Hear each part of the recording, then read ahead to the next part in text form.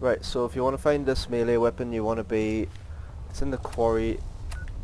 Dunwich Borers. It's like a underground quarry. Um, you have to basically follow it all the way through. It's not part of any quest, but it does have like a little mini storyline inside.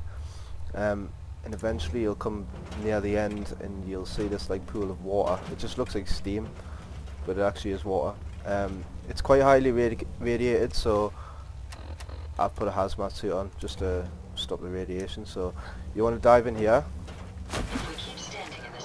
and you don't want to go all the way down, but you want to go in here. There's actually a couple of mini nukes as well, so that's good.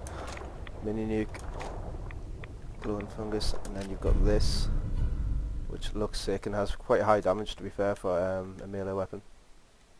So yeah, that's where you find that.